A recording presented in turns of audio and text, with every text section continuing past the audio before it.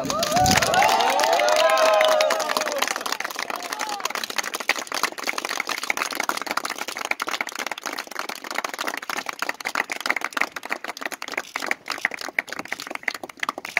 monsieur le chancelier,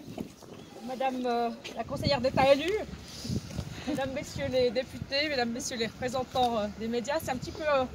en mode improvisé qu'au nom du gouvernement vaudois, euh, je suis ici sur euh, ces marches qui mènent au château pour vous accueillir et vous féliciter de l'élection tacite du jour. Le gouvernement vaudois se, réjouit de votre élection, se réjouit de vous accueillir euh, et nous sommes convaincus que vous exercerez vos fonctions de la même manière que vous avez jusqu'à ici exercé vos fonctions politiques avec intégrité, détermination et force de travail.